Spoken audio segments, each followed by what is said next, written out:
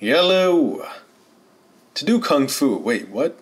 What is that? Boom! Was that kung fu? Or is he trying to kung fu us?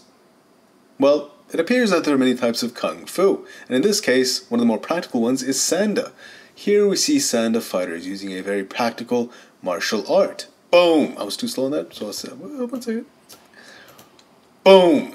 Perfect. Look at the way the guy's head rolls around. He just got rocked, completely limp.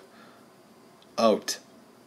Beautiful punch. Even though it's not textbook, it's not a textbook punch, it was more of a haymaker, that was beautiful. And then we have here, boom, boom.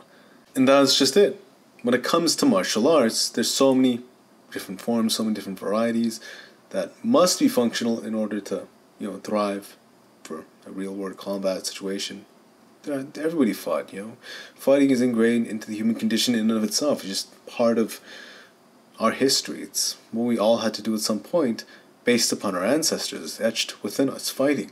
And so, even if a lot of it may look ornamental, there has to be something somewhere that's more functional than not.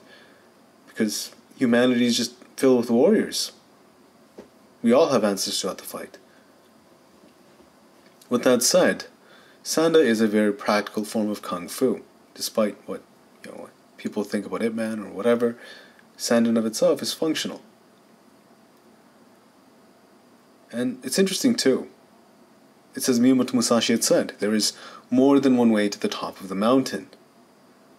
More than one way to the top of the mountain. The techniques start to look more and more similar to more practical styles as well, other functional styles as well, because this is a practical style, Sanda. If you just keep looking for things that actually work, eventually the techniques start to look similar to other ones. Boom. And that's exactly what we see here. It's a lesson to all of us, really, because it teaches us not to judge a book by its cover.